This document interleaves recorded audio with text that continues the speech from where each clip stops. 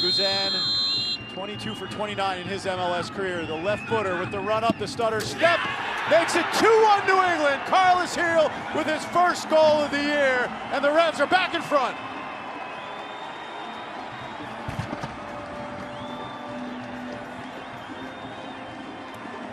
The Revs made man steps up and produces.